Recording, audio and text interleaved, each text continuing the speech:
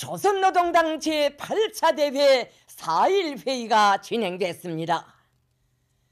조선노동당 제8차 대회 4일 회의가 1월 8일에 진행됐습니다. 정결 기간 우리 당과 국가의 전반 사업을 엄정히 총화한 데 기초하여 사회주의 건설의 새로운 전진 방향을 뚜렷이 명시한 당중앙위원회 제7기 사업종합 보고를 받아하는 대회 참가자들의 충성의 열의와 혁명적 기세가 비상히 격양되는 가운데 대회는 자기 사업을 계속했습니다.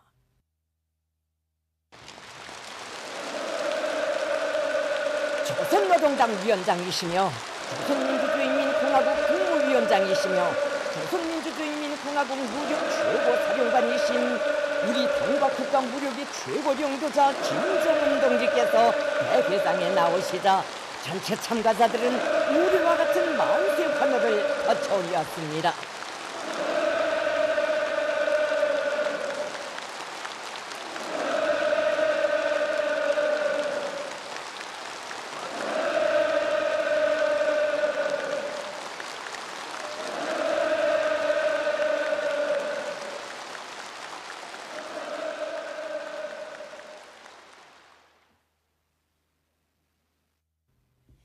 회의에서는 첫째 의정 조선노동당 중앙위원회 사업 총화에 대한 토론들이 진행됐습니다.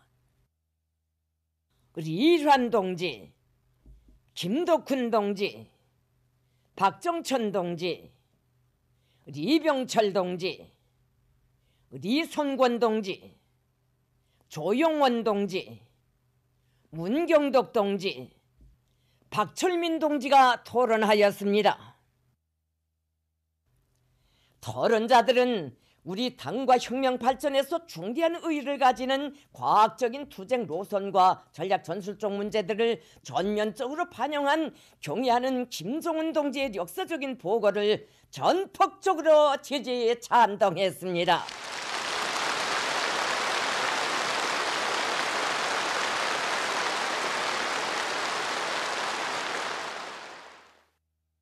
당중앙위원회 사업총화 보고는 새로운 발전 단계로 이행한 우리 혁명의 성숙된 요구에 맞게 당의 영도력과 전투력을 백방으로 강화하며 우리식 사회주의 건설의 새 승리를 쟁취하기 위한 진로를 명확히 밝힌 강령적 지침으로서 전체 당원들과 인민들, 인민군 장병들을 과감한 투쟁으로 힘있게 고무 추동하게 될 것이라고 그들은 강조했습니다.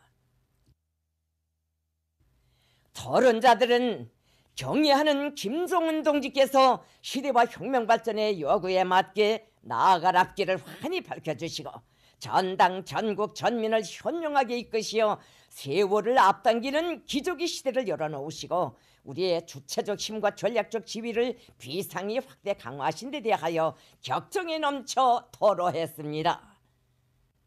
종결 기간 역사의 경련들을 정면 돌파하며 우리식 사회주의 위협을 승리의 길로 확신성 있게 이끄는 당 중앙의 탁월한 영도력이 남김없이 과시되고 사회주의 건설의 모든 분야에서 인민대중 제일주의 정치가 철저히 구현되어 당에 대한 인민들의 신뢰심이 비할 바 없이 높아졌으며 혁명대오의 일심 단결이 더욱 굳게 다져진 데 대하여 언급됐습니다.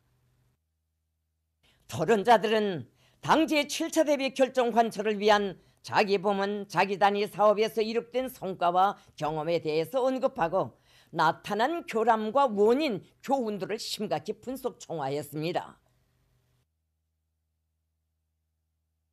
토론들에서는 당 대회가 제시한 국가경제 발전 5개년 계획들을 미달한 문제, 당 사업에서 친현실적이고 친인민적인 방법을 적극 구현하지 못한 문제를 비롯하여 자기 부문의 교람들이 냉정하게 비판됐으며 일꾼들이 난관 앞에서 패배주의, 보신주의에 빠져 책임적으로 일하지 않는다면 당 결정이 제대로 관철될 수 없고 발전과 혁신이 이룩될 수 없다는 교훈이 심중히 분석됐습니다. 전진 도상에서 맞닥뜨는 난관을 극복하고 걸린 문제들을 자체로 풀기 위한 대응책이 없이 사업에서 뚜렷한 진전을 가져오지 못한 교람들을 비판 총화하는 토론들을 들으면서 참가자들은 대회의 사상과 정신에 입각하여 자기 부문 자기 단위 사업을 교훈적이고 발전적인 견지에서 돌이켜 보았습니다. 참가자들은 당과 혁명 위협에 대한 충실성과 혁명가적 자세가 어떤 높이에 도달해야 하는가를 실감케 하는 토론들을 통하여 커다란 충동을 받아놨으며 서로의 경험과 교훈을 진지하게 나누면서 앞으로의 혁신과 발전을 위한 의견들을 충분히 교환했습니다. 토론자들은 새로운 포부와 리상을 실현하기 위하여 언제나 고심하며 주도성, 창발성과 진취적인 일본세로 모든 사업을 힘있게 밀고 나가기 위한 실천적 방도들에 대하여 언급하고 당과 혁명, 조국과 인민을 위하여 헌신 분투하려는 굳은 결의를 엄숙히 피력했습니다.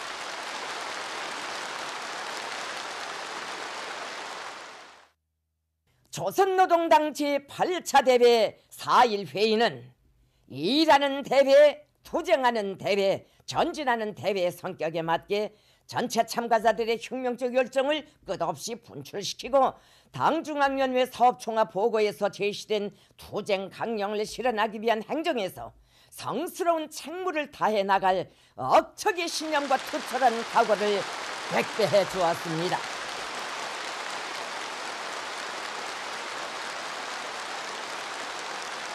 대회는 계속됩니다.